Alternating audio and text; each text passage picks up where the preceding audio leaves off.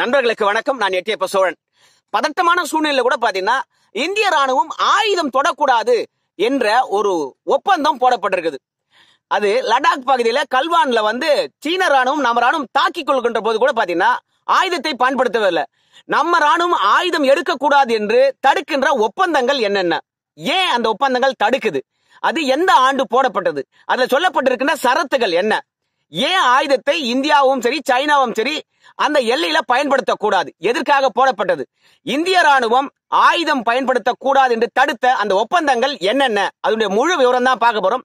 இது வரைக்கும் நம்முடைய சேனலை சப்ஸ்கிரைப் செய்யலாம் சப்ஸ்கிரைப் செய்யுங்க. என்னுடைய வீடியோ உங்களை வந்து சேர்ந்து கொண்டே இருக்கும். ஏன் கேட்டீங்கன்னா பொத்தொன்பதுவா சொல்லுவாங்க. அடா தொண்ணூத்தாறு ஒப்பந்தம் தெரியாதா? ரெண்டாயிரத்தி அஞ்சு ஒப்பந்தம் தெரியாதா? அதனாலதான் பாத்தீங்கன்னா லடாக் பகுதியில கல்வான்ல சீன ராணுவம் இந்தியாவும் சண்டை போடுகின்ற போது ஆயுதத்தை பயன்படுத்தல அப்படின்னு மொட்டையா சொல்லுவாங்க. அந்த சரத்துகள் என்ன சொல்லுது? எதற்காக அது போடப்பட்டது? எந்த ஆண்டு போடப்பட்டது? விவரமா யாரும் சொல்லியிருக்க மாட்டாங்க. நம்மளை பின்தொடர்வங்களுக்கு அது சொல்லணுமே என்ற ஒரு எண்ணத்துல தான் நான் சொல்றேன். இப்போ இந்த ஜூன் மாசம் பதினஞ்சு பதினாறாம் தேதிகளில் பாத்தீங்கன்னா நம்ம ராணுவமும் சீனாவும் தாக்கிக்கிட்டு நம்ம பக்கம் ஒரு இருபது பேர் அவங்க பேர் நாற்பத்தஞ்சு பேர் இறந்து போயிட்டாங்க. அந்த சமயத்தில் ராகுல் காந்தி என்ன சொன்னார் கேட்டீங்கன்னா ஏப்பா இவ்வளவு மிகப்பெரிய ஒரு பிரச்சனை நடந்திருக்கிறது அப்ப நம்ம ராணுவத்துடன் ஆயுதமே கிடையாதா? அப்படின்னு ராகுல் காந்தி கேட்க போய் தான் அதுக்கு வந்து நம்முடைய பாதுகாப்புத்துறை அமைச்சர் சங்கரன் சொல்றார் ஒரு பதில். என்னங்க இது கூட தெரியாதா உங்களுக்கு?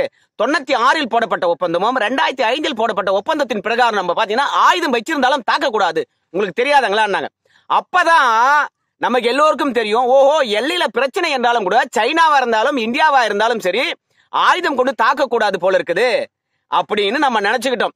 ஆனா அதுக்கு முன்னாடிலாம் ஏடா கையாலே அவங்க தள்ளிக்கிறாங்க? எதுக்கு தள்ளிக்கிறாங்க? அப்படின்னு ஒரு குழப்பம் நம்மளுக்குள்ள இருந்திருக்கும். ஆனா எல் அந்த எல்லை பிரச்சனை என்பது இந்தியாவுக்கும் சைனாவுக்கும் சரி இங்கிலீஷ்காரன் நம்மளுக்கு சுதந்திரம் கொடுத்துட்டு போனாம் பார். அப்பத்துல இருந்தே தொடங்கிடுச்சு. அப்ப சைனாக்காரன் சொன்னா ஏ இந்திய பகுதி எது? எங்க பகுதி எது? எங்களுக்கு ஒரு லைன் வரைஞ்சு கொடுத்துட்டு போ அப்படின்னா. அதுக்கு அந்த இங்கிலீஷ்காரன் என்ன சொன்னான்னு கேட்டீங்கன்னா இந்தியாவுக்கும் திபத்துக்கும் தான் பிரச்சனையை கண்டு ஒருபோதும் உங்களுக்கு பிரச்சனை கிடையாது அப்படின்னா. அப்பதுல இருந்து அவன் ஏத்துக்கவே இல்லை. ஏன்னு கேட்டீங்கன்னா திபத் எங்க நாடியா அப்படின்னு சைனாக்காரன் சொல்லிட்டே இருந்தான். அந்த எல்லை பிரச்சனை சுதந்திரம் பெற்றம்பார் அன்னைகள் இருந்தா தொடங்குச்சு. ஆயிரத்தி தொள்ளாயிரத்தி அறுபத்தி ஒண்ணுல சண்டை எல்லைக்காகவே மிகப்பெரிய பிரச்சனை வந்தது.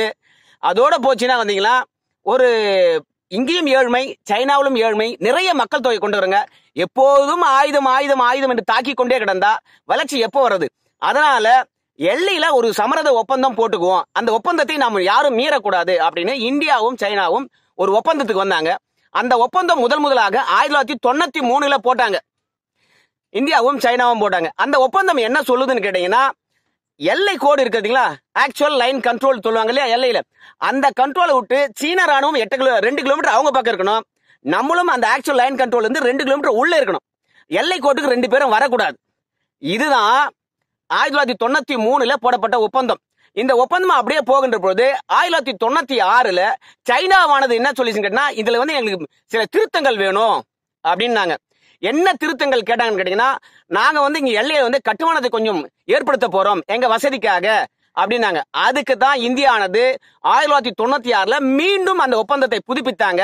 அந்த ஒப்பந்தத்தின் பிரகாரம் என்னன்னு கேட்டீங்கன்னா நீங்க ஆக்சுவல் லைன் கண்ட்ரோல்ல வந்து வரக்கூடாதுன்னு தான் நம்ம தொண்ணூத்தி மூணு ஒப்பந்தம் போட்டோம். நாங்க கட்டுமானத்தை ஏற்படுத்த போறோம் அப்படின்னு சொன்னீங்கன்னா லைன் கண்ட்ரோல்ல இருந்து ரெண்டு கிலோமீட்டருக்கு அண்ணாண்ட நீங்க வந்து என்ன கட்டுமானத்தோட பண்ணீங்க அதே மாதிரி நாங்க ஏன்னா ரெண்டு கிலோமீட்டர் தள்ளி எதனா ஒரு எங்களுடைய கட்டுமானத்தை நாங்க பண்ணிக்கிறோம். ஆனால் எல்லை ஒட்டி இருக்கின்ற பகுதிகளை யாருமே வந்து பார்த்தீங்கன்னா கட்டுமானத்தை உருவாக்கவே கூடாது. அப்படின்னு ஆயிரத்தி தொள்ளாயிரத்தி தொண்ணூத்தி ஆறுல ஒரு ஒப்பந்தம் போட்டாங்க. நவம்பர் இருபத்தி ஆறு ஆயிரத்தி தொள்ளாயிரத்தி தொண்ணூத்தி ஆறுல ஒப்பந்தம் ஆச்சு அதுல ஆறாவது ஷரத்து தான் என்ன சொல்லுதுன்னு கேட்டீங்கன்னா இந்த முக்கியமான ஷரத். என்னங்கன்னா எல்லையில் ஒரு பதட்டமான சூழ்நிலை இருந்தால் அப்போ ரெண்டு ராணுவங்களும் எக்காரணத்தை கொண்டும் ஆயுத பிரயோகம் பண்ணவே கூடாது. உடல் பலத்தை கொண்டு அவரவர்கள் பகுதிக்கு அவர்களை கொண்டு போய் சேர்க்கணும் கண்டி ஒருபோதும் சண்டையிட்டுக் கொள்ளவே கூடாது.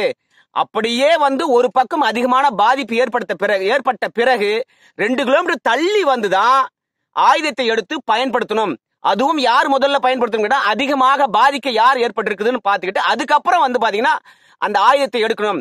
அதுவரையில் எந்த பிரச்சனையாக இருந்தாலும் ஒன்னும் பேனர் காட்டணும். அப்படி இல்லை என்றால் விசிலு மற்ற சத்தத்தை ஏற்படுத்தி அவங்களை ஒழி எழுப்பி அவங்க பக்கத்துக்கு போகணும். அப்படின்னா கையால புஷ் பண்ணி தள்ளணும். உடல் பலத்தை பயன்படுத்தலாமே கண்டி ஒருபோதும் ஆயுத பலத்தை பயன்படுத்தக்கூடாது என்று ஆயிரத்தி தொள்ளாயிரத்தி தொண்ணூத்தாறு நவம்பர் இருபத்தி ஆறு போடப்பட்ட இந்தியா சைனா ஒப்பந்தம் சொல்லுது. அதுல ஷரத்து ஆறு தான் ஆயுதங்களை பயன்படுத்தக்கூடாது. எல்லையில கட்டுமானத்தை யாரும் டெவலப் பண்ணக்கூடாது அப்படின்னு சொல்லிட்டு இருக்காங்க. ரெண்டு பேரும் பாத்தீங்கன்னா இந்த ஒப்பந்தத்தை மதித்து நடக்கணும். எல்லையில எந்த விதமான அசம்பாதமும் இருக்கக்கூடாது. அமைதி நிலவணும். என் பகுதி உன் பகுதி என்பது முழுக்க முழுக்க பேச்சுவார்த்தை மூலமாகத்தான் நடத்தணுமே கண்டி. ஒருபோதும் வன்முறை செய்யவே கூடாது. அப்படின்னாங்க. இந்த ஒப்பந்தத்துல இன்னும் சில மாற்றங்களை கொண்டு வந்து மூன்றாவது ஒப்பந்தமாக ஆயிரத்தி ரெண்டாயிரத்தி அஞ்சுல ஒரு ஒப்பந்தம் கொண்டு வந்தாங்க. அந்த ஒப்பந்தத்தின் பிரகாரம் என்னன்னு கேட்டீங்கன்னா நீங்க வந்து எல்லையில அடிக்கடி எல்லை மீறிக்கிட்டே இருக்கிறீங்க. அதனால பாதுகாப்பை உறுதி செய்யும் விதமாக அவங்கவுங்க டென்ட்ல போதுமான ஆயுதங்களை வச்சுக்கலாம். ரெண்டாயிரத்தி அஞ்சுல ஒரு மாற்றத்தை கொண்டு வந்தாங்க. அந்த மாற்றம் அந்த என்னன்னு கேட்டீங்கன்னா இதுவரை ஆயுதமே பயன்படுத்தக்கூடாது. என்னன்னா பாதுகாப்பு கவசங்கள். அங்க முழுக்க முழுக்க பனி இருக்கும்.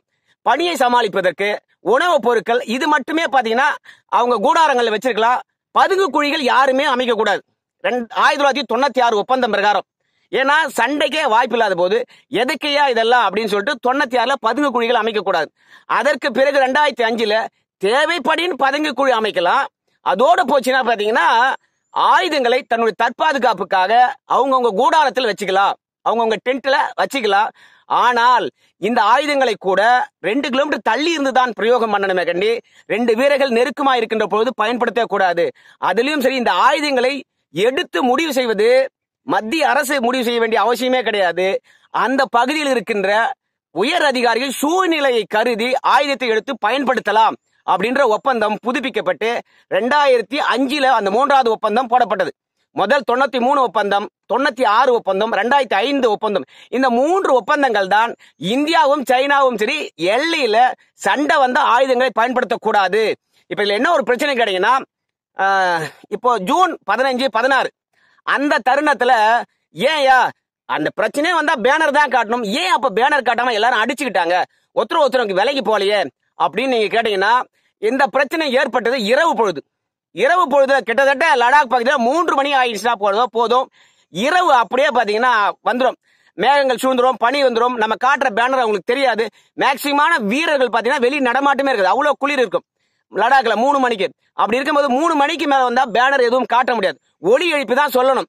அதுவும் இல்லாம சீனாவானது இந்த பதினஞ்சு பதினாறாம் தேதிக்கு முன்னாடியே நம்ம பகுதியில் வந்துட்டாங்க. அதற்கு முன்பாக பல நாள் பேச்சுவார்த்தை நடத்தினாங்க. பன்னெண்டு கட்ட பேச்சுவார்த்தைகள் நடத்தி ஏப்பா திரும்பி உங்க எல்லைக்கு போங்க. அப்படின்னு சீனர்களை அனுப்புனாங்க. ஆனா அவங்க போகாம கொஞ்ச தூரம் எல்லைக்கோட்டை தாண்டி அதை ஒட்டி இருக்கிற ரெண்டாயிரத்தி ஐந்து ஒப்பந்தத்தை மீறி எல்லாம் பத பங்க் ஆரம்பிக்கிறான். என்னது? பதுங்கு குயில நோண்டுறது கட்டுமானங்களை ஏற்படுத்துது இது எல்லாம் பண்ணிட்டு இருந்தான். இது எல்லாம் இவங்க என்ன இங்கே தான் இருக்கு. கூட தாண்டி போயிட்டாங்களா? இல்ல இந்த பதுங்கு குயில தான் இருக்கிறாங்களா? அப்படின்னு சொல்லிட்டு நம்ம ராணுவம் அந்த ஆக்சுவல் லைன் கண்ட்ரோலை தாண்டி போகின்ற பொழுதுதான் இருட்டாக இருந்ததுனால என்ன நடக்குதுன்னு தெரியாம ஒருத்தர் ஒருத்தர் மோதிக்கிட்டு அங்க இறந்து போயிட்டாங்க. ஒன்னு கட்டுமானங்களை ஏற்படுத்தக்கூடாது. இந்த கட்டுமானங்களை ஏற்படுத்தக்கூடாது என்ற இரண்டாவது ஒப்பந்தத்துல முதல் முதலாக மீறி கட்டுமானங்களை செய்தது சைனா. அப்ப இருந்த நம்ம நாட்டுல இருந்த அரசுகள் எல்லையில எந்த விதமான கட்டுமானமும் பண்ண மாட்டோம்பா அப்படின்னு அந்தோனியை அறிவிச்சு விட்டுட்டார். அதனால எல்லையில கட்டுமானமே கிடையாது. அதற்கு பிறகுதான் போய் பார்க்கும்போது சைனா மிகப்பெரிய கட்டுமானங்களை ஏற்படுத்துது. நம்ம சமவெளி பகுதி நம்ம மக்கள் ஆடு மாடு மேய்க்கின்ற பகுதி கம்பளி தயாரிப்புகின்ற இடமா இருக்கிறது. அந்த இடத்துல நம்ம மக்களுக்கு ஒரு பாதுகாப்பு வழங்கணும்னா நம்ம ராணுவ தலங்கானங்களோ விமானம் இறங்குவதோ அந்த இடத்துல நாம வந்து கட்டுமானத்தை ஏற்படுத்தலாம். ஆனா ஆக்சுவல் லைன் கண்ட்ரோல் இருக்குது இல்லையா? அதுல இருந்து ரெண்டு கிலோமீட்டர் தள்ளி நம்ம வந்து எல்லா விதமான கட்டுமானங்களையும் ஏற்படுத்தலாம்.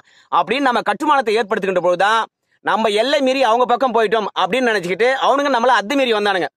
இந்த தாக்குதல் ஒரு வருடத்துக்கு பாத்தீங்கன்னா பத்து பதினஞ்சு நடக்கும். காங்கிரஸ் ஆட்சி பத்து வருடங்கள் ஆளுகின்ற பொழுது ஆறுநூறு முறை அத்துமீறி சைனாவில் வந்து சைனாக்காரன் வந்து நம்ம இதுக்கு வந்திருக்கான். காங்கிரஸ் ஆட்சி முறை எவ்வளவு ஆறுநூறு முறை அத்துமீறி நம்ம எடுத்துக்கு வந்திருக்கான். அந்த எல்லா தருணங்களையும் சரி நம்ம ரெண்டாயிரத்தி ஐந்து ஒப்பந்தத்தின் பிரகாரம் ஆயுதம் பயன்படுத்தாம அவங்களை விலைக்கு செஞ்சிருக்கோம். அவங்களுடைய அடாவடி தலைமை என்ன கேட்டீங்கன்னா இங்க கண் காஷ்மீர்ல இருந்து அருணாச்சல பிரதேஷ் வரைக்கும் இருக்கிற ஓரம் இருக்க எல்லா எல்லை பகுதியும் கிட்டத்தட்ட நூறு கிலோமீட்டருக்குள்ள நேரா கோடு பூச்சி மாதிரி எந்துதான் அப்படிங்கிறான் சைனாக்காரன். அருணாச்சல பிரதேசம் பண்பாட்டு ரீதியா புயல் ரீதியா எந்துங்கிறான்.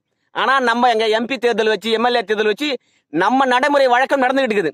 இந்த மாதிரி அடம் பிடிச்சிக்கிட்டே இருக்கும்போது இவனை எல்லாம் அடுக்கணும்னா எல்லையில கட்டுமானத்தை உருவாக்கினதா சரியா இருக்கும் அப்படின்னு பிஜேபி அரசாங்கம் வந்து இப்ப கட்டுமானத்தில் ஏற்படுத்துது. கட்டுமானம் ஏற்படுத்துறது மட்டும் இல்ல நிறைய இப்போ ஹெலிகாப்டர் அதே மாதிரி ராணுவ வீரர்கள் விமானங்கள் அதே மாதிரி டாங்கிகள் எல்லாம் இப்ப கொண்டு போய் நிறுத்திருக்காங்க.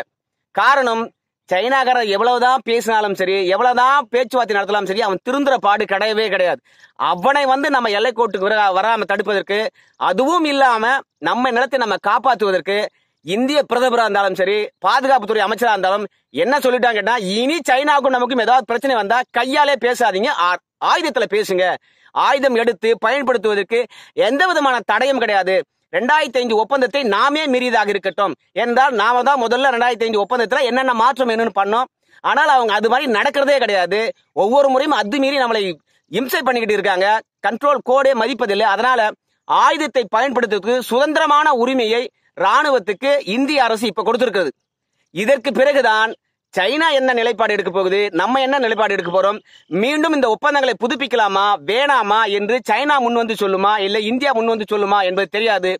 எல்லை பகுதியில் பாத்தீங்கன்னா இந்திய ராணுவமாக இருந்தாலும் சரி சைனா ராணுவமாக இருந்தாலும் சரி ஆயுதங்களை எடுக்காம தடுத்தது தொண்ணூத்தி மூன்று ஒப்பந்தம் தொண்ணூத்தி ஆறு நவம்பர்ல போட்ட ஒப்பந்தம் அதுக்கப்புறம் ரெண்டாயிரத்தில் போடப்பட்ட இந்த மூன்று ஒப்பந்தங்கள் தான் இந்தியாவானது ஆயுதங்களை எடுக்கக்கூடாது என்ற ஒரு நிலைக்கு இட்டு சென்றது என்பது எல்லோருக்கும் தெரியும். நன்றி நண்பர்களே. வணக்கம். இன்னொரு வீடியோவில் சந்திக்கலாம்.